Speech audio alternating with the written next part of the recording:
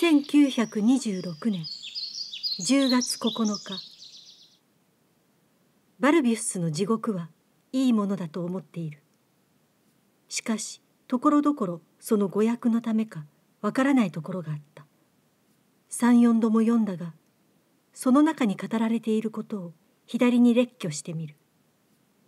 1子供の純真なそして目覚めかけている恋。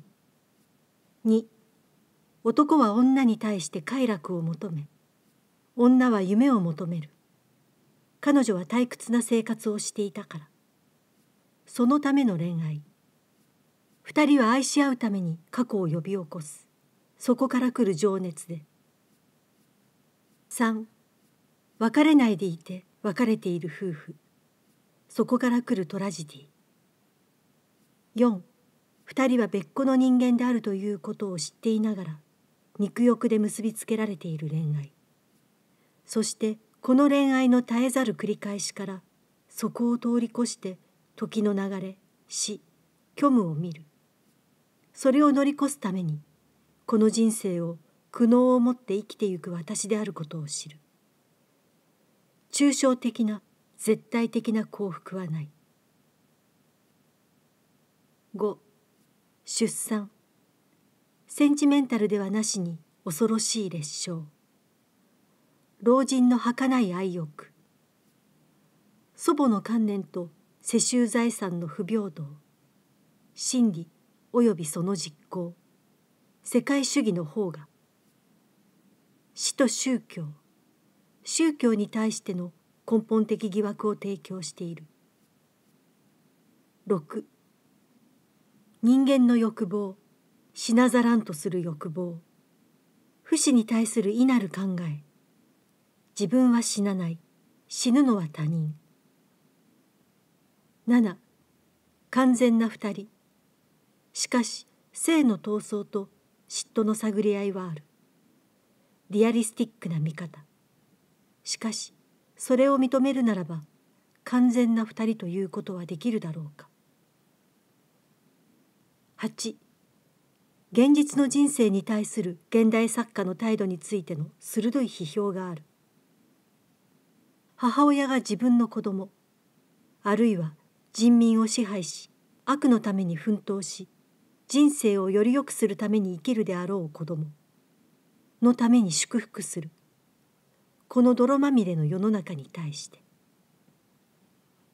9人間は全真理である。神聖を人間のうちにあるとしいかに我々は迷うともいかに虐げられるとしても人間は一種の献身を持って我々自身を研究してゆかなければならない。他にない。そして言う。墓場を除いて楽園はない。生の強熱を除いて地獄もなく煉獄もない。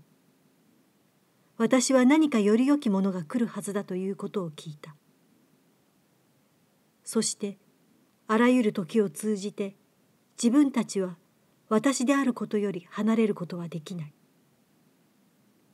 個人的という意ではなしに根本的という意味で。なぜなら一切が我々のうちにあるゆえに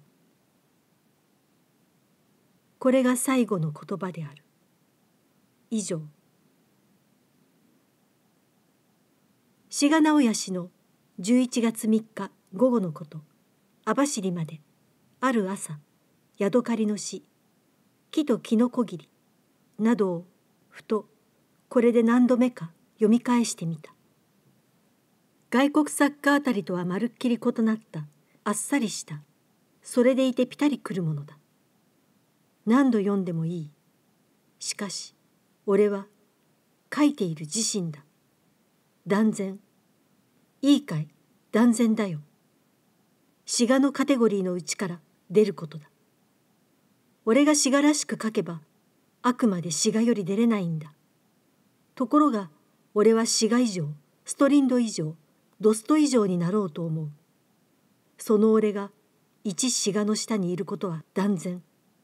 もちろん断然。逃れなければならない。